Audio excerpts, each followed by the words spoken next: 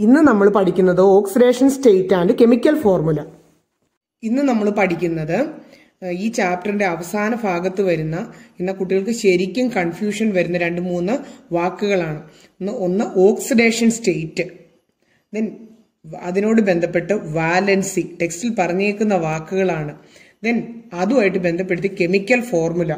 മൂന്ന് വാക്കുകളും അത് അതിന്റെ ക്വസ്റ്റ്യൻ വരുമ്പോൾ എത്ര പറഞ്ഞു കൊടുക്കുമ്പോഴും ആകെ കൺഫ്യൂഷനാണ് ഒന്നോടെ പറയാം. ഓക്സിഡേഷൻ സ്റ്റേറ്റ് വാലൻസി ഇത് ബന്ധപ്പെടുത്തിയുള്ള കെമിക്കൽ ഫോർമുല. ഇത് എഴുതുമ്പോൾ കുട്ടികൾക്ക് അങ്ങ് മാറിപ്പോവാണ്.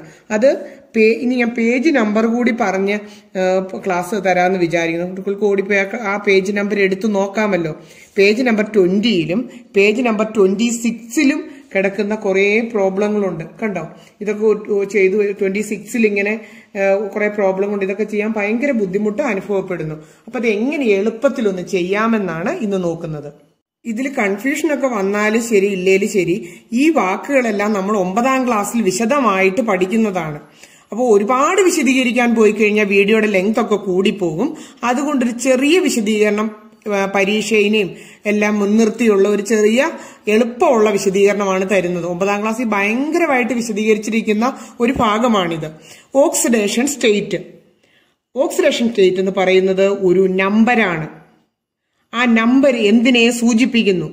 It shows the number of electron gained or lost ഒരു ഇലക്ട്രോൺ ഒരു ഇലമെന്റിന് ഗെയിൻ ചെയ്യുന്നതോ ലോസ് ചെയ്യുന്നതോ ആ ഇലക്ട്രോണിന്റെ നമ്പറാണ് അപ്പോൾ ഒരു എക്സാമ്പിൾ പറയുമ്പോൾ കുറച്ചുകൂടെ മനസ്സിലാവും. ഓക്സിഡേഷൻ നമ്പർ എഴുതുമ്പം അത് രണ്ട് തരമാണുള്ളത്. പോസിറ്റീവ് ഓക്സിഡേഷൻ സ്റ്റേറ്റും നെഗറ്റീവ് ഓക്സിഡേഷൻ സ്റ്റേറ്റും നോക്കിക്കേ സോഡിയത്തിന്റെ ഓക്സിഡേഷൻ സ്റ്റേറ്റ് എഴുതി വെച്ചിരിക്കുന്നത് പ്ലസ് വൺ എന്ന് പറഞ്ഞാൽ ഒരു ഇലക്ട്രോൺ അതിന് ലോസ് ചെയ്യപ്പെടുകയാണ് ചെയ്യുന്നത്. ഒരു ഇലക്ട്രോൺ ലോസ് ചെയ്യപ്പെടുന്നു. ഇനി ഇവിടെ ക്ലോറിൻ നമ്മൾ ഒമ്പതിൽ തന്നെ പഠിച്ചാണ്. ക്ലോറിന് മൈനസ് വൺ ആണ് ഓക്സിഡേഷൻ സ്റ്റേറ്റ് ഒരു ഇലക്ട്രോൺ ഗെയിൻ ചെയ്യുകയാണ് ചെയ്യുന്നത്. കുട്ടികൾ കുറച്ച് കഴിയുമ്പോൾ അങ്ങ് മറന്നുപോകും. അപ്പൊ ഞാനൊരു ചെറിയ കാര്യം പറയാനുണ്ട്. ലോസ് ചെയ്യുകയാണ് സോഡിയത്തിന് ചെയ്യുന്നത്. സോ ആ ഒരെണ്ണം പഠിക്കുക ഒരെണ്ണം ലോസ് ചെയ്യുക എന്ന് പറയുമ്പോൾ അത് ഒരാൾക്ക് കൊടുക്കുന്നു. അത് നല്ല പ്രവൃത്തിയല്ലേ? സോ ഇറ്റ് ഈസ് പോസിറ്റീവ് ചിഹ്നമുള്ള ഓക്സിഡേഷൻ സ്റ്റേറ്റ് ആയിരിക്കും. ലോസ് ചെയ്യുന്നത് കൊണ്ട്. ഇലക്ട്രോൺ ലോസ് ആണോ ഗെയിൻ ആണോ എന്നുള്ള കൺഫ്യൂഷനാണ്. ലോസ് എന്നുള്ളതിന് പോസിറ്റീവാണ്. ഒരാൾക്ക് നൽകുമ്പോഴാണ് ലോസ് ആകുന്നത്. അതൊരു നല്ല character so positive positive oxidation state negative എന്തായിരിക്കും? ഇലക്ട്രോൺ ഗെയിൻ ചെയ്യുമ്പോൾ അല്ലെങ്കിൽ അക്സെപ്റ്റ് ചെയ്യുമ്പോഴായിരിക്കും. രണ്ട് മൂന്ന് എക്സാമ്പിൾ ചെയ്തുകൊണ്ട് ഓക്സിഡേഷൻ സ്റ്റേറ്റ് ഒന്നുകൂടി അത് എങ്ങനെ വന്നു ഉണ്ടായി എന്നൊക്കെ ഒന്ന് ഉറപ്പിക്കാം. ഇല ലെവൻ ആണ് സോഡിയത്തിന്റെ ആറ്റോമിക് നമ്പർ ഇലക്ട്രോണിക് കോൺഫിഗറേഷൻ എഴുതാൻ അറിയാം. അപ്പോൾ അതിന്റെ ഔട്ടർ മോസ്റ്റ് ഷെല്ലിൽ നോക്കി ഇവിടം വരെ പി സിക്സ് ഇവിടം വരെ കംപ്ലീറ്റ്ലി ആയിട്ടൊരു ഫില്ലിങ് പോലെയാ. ത്രീ എസ് വൺ തുടങ്ങി ഒരെണ്ണം മാത്രം. അതൊന്ന് ലോസ് ചെയ്തായിരുന്നെങ്കിൽ അതിന് ഒരു സ്റ്റെബിലിറ്റി വന്നേനെ. ഈ three P six P complete ആയി നിന്നാൽ മോർ സ്റ്റെബിലിറ്റി പി കംപ്ലീറ്റ് ആയി നിന്നാൽ മോർ സ്റ്റെബിലിറ്റി സോ അതിന് ഒരു ഇലക്ട്രോൺ നഷ്ടപ്പെടാനാണ് ഇഷ്ടം.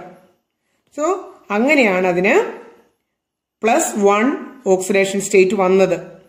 ആൻഡ് അതിന്റെ ഗ്രൂപ്പ് ഒന്നാണ്. അപ്പൊ നമുക്കൊന്ന് ചുരുക്കി പറയാം. ഗ്രൂപ്പ് ഒന്നിലുള്ള സോഡിയം പോലുള്ളവർക്ക് പ്ലസ് വൺ. ഗ്രൂപ്പ് ഒന്നിലുള്ള പ്ലസ് സോഡിയം പോലുള്ളവയ്ക്ക് പ്ലസ് വൺ. ഒരു ഗ്രൂപ്പ് ടൂവും കൂടെ ഒന്ന് നോക്കാം. അതിന്റെ ഇലക്ട്രോണിക് കോൺഫിഗറേഷൻ. ഇത് നോക്കി ഇവിടം വരെ കംപ്ലീറ്റ്ലി ഫിൽഡ്.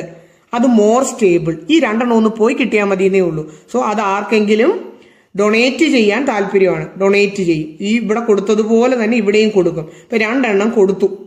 കൊടുത്തു എന്നുള്ളതിന് എങ്ങനെയായിരുന്നു? ഡൊണേറ്റ് ലോസ് പ്ലസ് ടു ആണ് അതിന്റെ ഓക്സിഡേഷൻ സ്റ്റേറ്റ് ഇതിന്റെ നോക്കിക്കേ ഈ മഗ്നീഷ്യം സെക്കൻഡ് ഗ്രൂപ്പ് ആണെന്ന് നമ്മൾ പഠിച്ചു വെച്ചിട്ടുണ്ട്. മഗ്നീഷ്യം സെക്കൻഡ് ഗ്രൂപ്പ് എങ്ങനെയാ വരുന്നത് എന്നുള്ളത് ഗ്രൂപ്പുകളും പീരീഡും എല്ലാം വരുന്നത് വെരി ഇമ്പോർട്ടന്റ് ആണ്. അത് ഇതിന് തൊട്ടു മുമ്പതിൽ നിങ്ങൾക്ക് മനസ്സിലാവും. ദെൻ ഇതിനകത്തുനിന്ന് നമുക്ക് ഒരു കാര്യം അസ്യൂം ചെയ്യാം. സെക്കൻഡ് ഗ്രൂപ്പ് ആണെങ്കിൽ അതിന് പ്ലസ് ടു ഇനി ഒരെണ്ണം കൂടെ. അടുത്തത്. പതിനേഴ് ഇലക്ട്രോണിക് കോൺഫിഗറേഷൻ എഴുതി നമ്മൾ പഠിച്ചിട്ടുണ്ട്. ഇതിന്റെ ഗ്രൂപ്പ് കണ്ടുപിടിക്കാൻ. ഗ്രൂപ്പ് കണ്ടുപിടിച്ച് നോക്കിയാൽ പതിനേഴ്. ഇവരുടെ അവസ്ഥ നോക്കിക്കേ. പിയിൽ അഞ്ചെണ്ണം വരെ വന്ന് നിൽക്കുക. ഒരെണ്ണം അവിടെ കിട്ടിയായിരുന്നെങ്കിൽ പി സിക്സ് ഇതുപോലെ P six so more stability ഉണ്ടാവുമായിരുന്നു. അതിന് അപ്പോൾ ഒരെണ്ണം കിട്ടണം.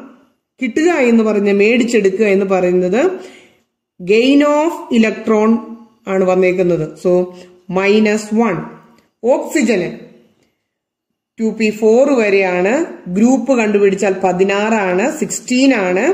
നോക്കിക്കേ സിക്സ് ആകാൻ. പി സിക്സ് ആകാൻ എപ്പോഴും നോക്കുന്നത്. അത് ത്രീ ആണേലും വേണ്ടില്ല. ടു ആണേലും. സിക്സ് ആകാൻ എത്രയെണ്ണം വേണം?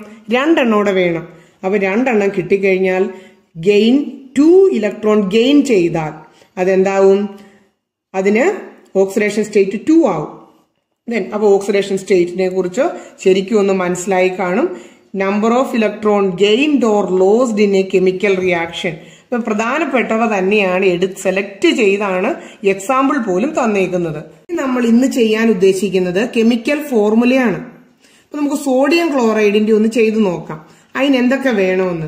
ഒന്നാമത്തെ സ്റ്റെപ്പ് സ്റ്റെപ്പ് വൺ അതിൽ നമ്മൾ സോഡിയത്തിന്റെ സിമ്പിൾ നമുക്കറിയാം. എൻ എ ക്ലോറിന്റെ സിമ്പൽ അത് രണ്ടും ഉണ്ടെന്ന് നമുക്ക് ആ പേരിയും സോഡിയം ക്ലോറൈഡ് അപ്പൊ എഴുതി. അപ്പൊ നമ്മൾ അടുത്ത സ്റ്റെപ്പ് നമ്മൾ ചെയ്യേണ്ടത് അതിന്റെ ഓക്സിഡേഷൻ സ്റ്റേറ്റ് ചാർജ് ഇല്ലാതെ സോഡിയത്തിന്റെ എത്രയായിരുന്നു? വൺ പ്ലസ് വൺ ചാർജ് ഇല്ലാതെ എഴുതുമ്പോൾ വെറും വൺ ക്ലോറിന്റെ എത്രയായിരുന്നു? മൈനസ് വൺ ചാർജ് ഇല്ലാതെ എഴുതുമ്പോഴോ? വൺ അപ്പൊ ഈ ചാർജ് ഇല്ലാതെ എഴുതുന്നതിനാണ് വാലൻസി എന്ന് പറയുന്നത്. ഈ വാക്കുകളൊക്കെ തന്നെയും പിന്നെ സയന്റിഫിക് വേർഡ്സ് ഒക്കെ തന്നെയും പിന്നെയും പറഞ്ഞ് ബൈഹാർട്ട് ചെയ്യുക അല്ലാതെ വേറെ ഒരു മാർഗമില്ല അപ്പോൾ ഓക്സിഡേഷൻ സ്റ്റേറ്റ് ചാർജ് ആ സൈൻ ഇല്ലാതെ പറയുമ്പോഴാണ് വാലൻസി ഇനി അടുത്ത സ്റ്റെപ്പിൽ ഫോർമുല ഉണ്ടാക്കുന്നതിന്റെ രണ്ടാമത്തെ സ്റ്റെപ്പിൽ ആ അവർ തമ്മിൽ ഈ വാലൻസി ഒന്ന് എക്സ്ചേഞ്ച് ചെയ്യുക. സോഡിയത്തിന്റെ വാലൻസി ആട്ടോ ഇങ്ങോട്ട് എഴുതിയേക്കുന്ന ക്ലോറിന് ക്ലോറിന്റെ വാലൻസി ഇവിടെയും. ഫൈനൽ സ്റ്റെപ്പ് ഫൈനൽ സ്റ്റെപ്പിൽ നമ്മളൊന്ന് പരിശോധിക്കുക. അങ്ങനെ പരിശോധിച്ചാൽ മനസ്സിലായി രണ്ടിനും വാലൻസി വൺ വൺ അപ്പൊ അതുകൊണ്ട് അതിനെ അത് ഒഴിവാക്കി നമുക്ക് സോഡിയം ക്ലോറൈഡ് ഒരെണ്ണവും കൂടെ നമുക്ക് എഴുതാം. അത് മഗ്നീഷ്യം ക്ലോറൈഡ് ആയിക്കോട്ടെ. മഗ്നീഷ്യം ക്ലോറൈഡ് അതിനുവേണ്ടി എന്തൊക്കെ വേണം? ഇതുപോലെ ഓർത്തൊന്ന് പറഞ്ഞേ. ഫസ്റ്റ് സ്റ്റെപ്പിൽ മഗ്നീഷ്യം ക്ലോറൈഡ് എന്ന് കേട്ടപ്പോ തന്നെ എന്തൊക്കെ കാണും? മഗ്നീഷ്യവും കാണും ക്ലോറിനും കാണും. അപ്പൊ മഗ്നീഷ്യത്തിന്റെ ഓക്സിഡേഷൻ സ്റ്റേറ്റ് പണ്ട് പഠിച്ചതായിരുന്നു പ്ലസ് ടു നോക്കിക്കേ മഗ്നീഷ്യം പ്ലസ് ടു അത് മഗ്നീഷ്യത്തിന്റെ മുകളിൽ തന്നെ അങ്ങ് എഴുതി. ക്ലോറിൻ എന്തായിരുന്നു പഠിച്ചിരുന്നത്? അയ്യോ ചാർജ് എഴുതിയില്ലെങ്കിലും കുഴപ്പമില്ല. വാലൻസി എഴുതുന്നതാണെന്നാണ് ആ ചാർജ് ഇല്ലാതെ എഴുതുന്നതാണ് സന്തോഷം. ദെൻ ക്ലോറിന് വൺ മൈനസ് വൺ വൺ ആയിട്ട് എഴുതി. ഇനി അത് എക്സ്ചേഞ്ച് ചെയ്ത് എഴുതുന്ന രണ്ടാമത്തെ സ്റ്റെപ്പ് മഗ്നീഷ്യത്തിന്റെ കൊണ്ടുവന്ന് ക്ലോറിന്റെ എഴുതണം. ക്ലോറിന് കൊണ്ടുപോയി മഗ്നീഷ്യത്തിന്റെ ബാലൻസ് എഴുതണം. ഫൈനൽ സ്റ്റെപ്പ് അതിലെന്ത് ചെയ്യണം? ഒന്ന് പരിശോധിക്കുക. വൺ എന്ന് എഴുതിയേക്കുന്നതോ? അത് എഴുതിയാലും എഴുതിയാലും വൺ ആണെന്ന് അണ്ടർസ്റ്റുഡ് ആണ്. അതുകൊണ്ട് വൺ നമുക്ക് ഒഴിവാക്കി എഴുതാം ടു ഒക്കെ ഉണ്ട് എഴുതിക്കോണം കേട്ടോ. അപ്പം M G C L two ആണ് മഗ്നീഷ്യം ക്ലോറൈഡിന്റെ ഫോമുല അപ്പോൾ ഫോമുല എഴുതേണ്ട സ്റ്റെപ്പുകൾ ഒന്നോടെ പറയാം. ആ ഇലമെന്റുകൾ മഗ്നീഷ്യവും ക്ലോറിനുമാണ് അത് അങ്ങ് എഴുതുക. മഗ്നീഷ്യത്തിന്റെ സ്വന്തം വാലൻസി വാലൻസി എന്ന് പറഞ്ഞാൽ ഓക്സിഡേഷൻ നമ്പർ ചാർജ് ഇല്ലാതെ എഴുതുന്നതിനാണ്. പോസിറ്റീവ് നെഗറ്റീവ് എന്ന് എഴുതാതെ. അപ്പൊ അത് എഴുതി. പിന്നെ എന്ത് ചെയ്തു? അവരെ പരസ്പരം എക്സ്ചേഞ്ച് ചെയ്ത് എഴുതി. എന്നിട്ട് നമ്മളൊന്ന് ഫൈനലൈസ് ചെയ്തും എഴുതി. ഇങ്ങനെയാണ് നമ്മൾ ഫോർമുല ഉണ്ടാക്കുന്നത്. ഇനി നമുക്ക് പേജ് നമ്പർ ട്വന്റിയിലെ ഒരു ബോക്സ് അങ്ങ് ചെയ്യാം. നമ്മളിപ്പോൾ പഠിച്ചതെല്ലാം വെച്ചിട്ട് നമുക്കത് ചെയ്യാൻ പറ്റുമെന്ന് നോക്കാം. ഗ്രൂപ്പ് വൺ വാലൻസി എത്രയായിരുന്നു? നമ്മൾ ഗ്രൂപ്പ് വണ്ണിന് വാലൻസി അങ്ങ് പഠിച്ചു വെച്ചേക്കുക. സോഡിയ ഓർത്തിരിക്കാൻ വേണ്ടി സോഡിയത്തെ ഓർത്ത് അങ്ങ് പഠിച്ചു വെക്കുക. സോഡിയത്തിന് പ്ലസ് വൺ അതുകൊണ്ട് ഗ്രൂപ്പ് വണ്ണിനും വണ്ണിലെ ആര് പറഞ്ഞാലും അവർക്ക് പ്ലസ് വൺ മഗ്നീഷ്യം രണ്ട് ഗ്രൂപ്പ് ടു അതിനകത്ത് ഒരാളാണ് മഗ്നീഷ്യം. ഒരു ഇലമെന്റ് ആണ് മഗ്നീഷ്യം. മഗ്നീഷ്യത്തിന് പ്ലസ് ടു. അതുകൊണ്ട് ഗ്രൂപ്പ് ടുവിന് മൊത്തം ഓക്സിഡേഷൻ സ്റ്റേറ്റ് എത്രയായിരിക്കും? Plus two. അപ്പം നമുക്ക് അതൊന്ന് ഇവിടെ പൂരിപ്പിച്ചിട്ടുണ്ട്. അതിന് ചാർജ് ഇല്ലാതെ ഗ്രൂപ്പ് വണ്ണിന് എഴുതുമ്പോൾ എത്ര കിട്ടും? വൺ ചാർജ് ഇല്ലാതെ ഗ്രൂപ്പ് ടുവിന് എഴുതുമ്പോൾ വാലൻസി കിട്ടും. അത് ടു ഇനി ഓക്സിഡേഷൻ സ്റ്റേറ്റോ? ചാർജോട് കൂടി എഴുതണം.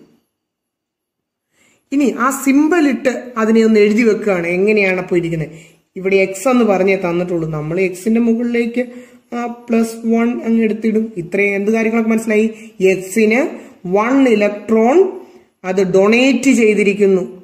നല്ലൊരു പ്രവൃത്തി ചെയ്ത് ഡൊണേറ്റ് ചെയ്തിരിക്കുന്നു ലോസ് ചെയ്തിരിക്കുന്നു. വൈക്കോ പ്ലസ് ടു എന്ന് ഇട്ടു. അത് കാണുമ്പോഴേ മനസ്സിലാക്കണം വൈ ഡൊണേറ്റഡ് ടു ഇലക്ട്രോൺ ഇനി അത് വെച്ചുകൊണ്ട് കെമിക്കൽ ഈ വൈയും ഇതും കൂടെ കൂടി ഒരു കെമിക്കൽ ഫോർമുല വൈയും ഓക്സിജനും കൂടി എക്സും ഓക്സിജനും കൂടി ഫോർമുല ഉണ്ടാക്കാവോ എന്നാണ് അടുത്ത ചോദ്യം.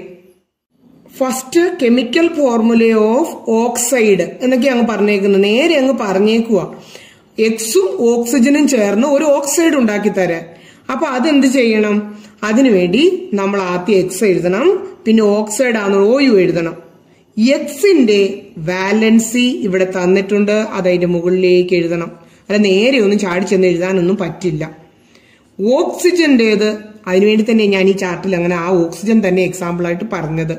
ഓക്സിജൻ സിക്സ്റ്റീൻത് ആണ്. സിക്സ്റ്റീൻത് ഗ്രൂപ്പിലുള്ളവർക്ക് എല്ലാവർക്കും മൈനസ് ടു ആയിരിക്കും. ശരിക്കും പറഞ്ഞാൽ ഇത് ഇത് തന്നെ നമുക്ക് ധാരാളം മതി. ദെൻ അത് ഓക്സിജന്റെ ഇട്ടു ചാർജോട് കൂടി ഇട്ടാലും കുഴപ്പമില്ല. നിങ്ങൾ അടുത്ത സ്റ്റെപ്പ് എഴുതുമ്പോൾ ചാർജ് എഴുതാതെ എക്സ്ചേഞ്ച് ചെയ്യും. ഓക്സിജന്റെ രണ്ട് ആർക്ക് കൊടുക്കണം. എക്സിന് കൊടുക്കണം.